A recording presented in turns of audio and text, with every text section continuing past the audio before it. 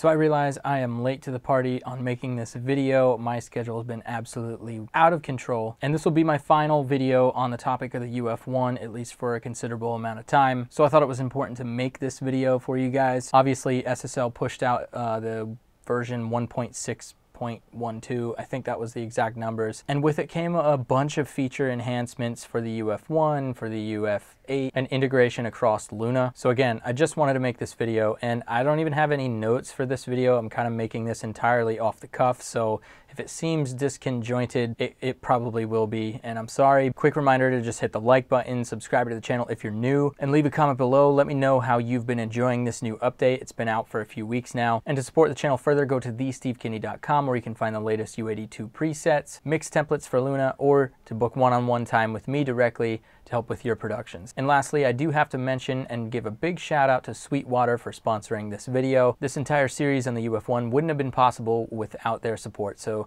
thank you to Sweetwater. There's a link to the UF1 in the description if you are still considering that device. It's an amazing device. You're going to love it. All right, so the first order of business that we have to talk about is the custom colors for the UF1, UF8. As you work through the SSL 360 app to give your custom key commands to the UF1, UF8, you do have the added ability to add a custom color to this. You probably already see it, but I have custom colors kind of mapped to the different areas on the device. Like if I'm on page one, I can totally change the color of whatever my parameters are as I build the parameters out. Love this. I think this is awesome. I don't know if I'll be able to get to it during the actual release of this video, but at some point I will email everyone who's picked up my templates for the UF1, UF8, and you'll get an updated template with my color coding scheme along with the commands. Additionally, I am also putting out a UF1 only edition of my preset. So if you only have UF1, you'll have access to my template as well. I had a lot of questions about plugin control as well. So um, I'm just gonna kind of like show you how that works real quick. And I know I'm kind of walking on the UF8 and walking through that. Everything I'm doing here also applies to the UF1 uh, as well. So it's more of an SSL 360 update than it is like a UF1 update itself, but nonetheless. Um, so first things first, I'll show you quick plugin control because someone asked about it. To pull up a plugin, um, you can press the plugin button and then it's going to light up and it's going to ask you to choose uh, what control that you're trying to control, whether it's like tape control or one of the console emulations or a plugin insert. So we're going to choose plugin insert here and then your list of plugins would go across the top. I only have one. Um, but you can see that immediately once I select it. Now, now we've got all of the parameters across the V-pots. And so someone asked me how would I control these V-pot parameters on a fader and it's just this flip button right here. So you press that and now you can see that those parameters have now switched. If I wanna, if you're looking on my screen here, I can control the parameters of the plugin using my fader. And you're probably saying, well, where do you change parameters across the top. And it's actually right down here at the bottom. Um, so you can press this over and you can see as I do it right here, it says page two of six.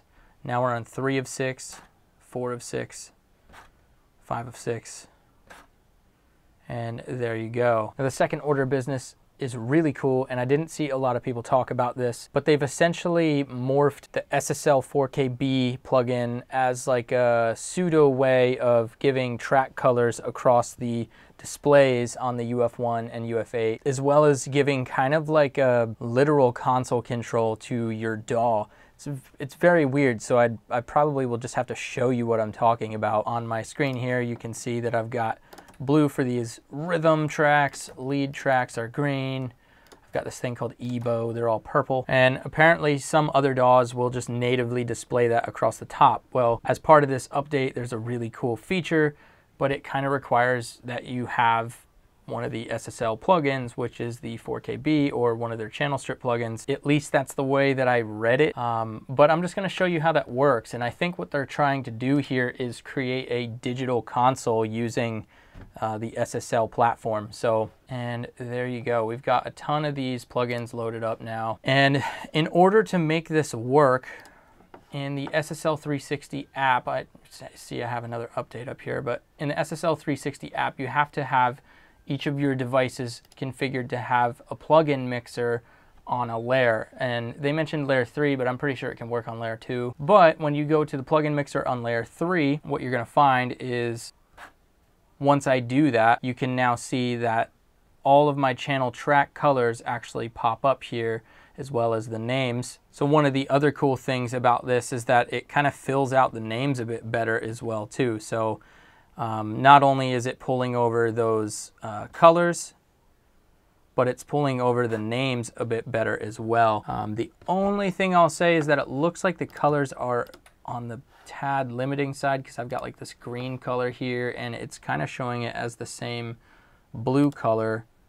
And if I change them, I've got to like really change the color in Luna in order for that to actually like follow through. So, um, but nonetheless, this is a really welcomed feature. And the interesting thing is that they've made it so that you can actually control the DAW faders, so Luna's faders, through this system. So essentially, the way I take it is that if you put SSL 4K across every channel in your session, you're going to be able to mix inside of your DAW and still have your colors across the top easier to read names, and a whole ton of other metering functions thanks to that channel strip plugin. So really, really cool. Um, you also have control of sends too. So on this EBow track, I do actually have sends. It's in the send one uh, panel, right? So across Luna, I have one, two, three, and four. Obviously, we only have one and one. So if I press this send plugin one, you can see now that the sends come up across the top. And if I flip the fader, I am now controlling the send level inside of Luna uh, via choosing a sends tab. I actually really like this feature a lot. This is great. I love being able to just have visual feedback on what I'm controlling. And all I got to do to control the fader is just hit flip and now I am controlling the fader of the DAW, and that's where you hit this plugin button. So now if I hit the plugin button and I pull up the plugin's GUI, now I'm controlling the fader inside of, uh, inside of the plugin. The final thing that's really important to note also is that the select button follows the channel's colors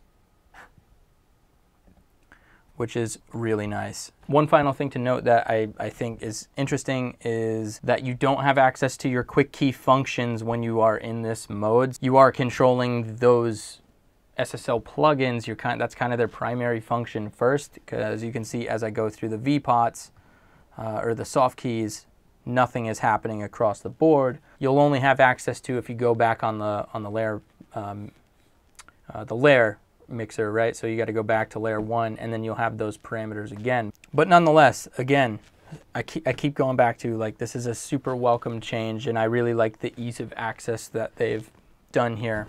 Um, all right, so there you have it. Those are the two biggest takeaways that I've gotten from this update. Some really cool, almost hidden features. Again, they weren't really highlighted a whole lot, or at least it didn't seem like they were highlighted a whole lot, but after taking the time to look at it, really cool. Of course, you do have to have the 4KB plugin or some sort of channel strip plugin. I think that's kind of where they're getting at with it. But nonetheless, I love that extra little enhancement to the layers function. For a full list of what's included in this update or what was included in this update, you can go to the SSL website. That's about all I have for you guys. Again, like, subscribe, comment, really appreciate it. We'll see you in the next video, guys. Cheers.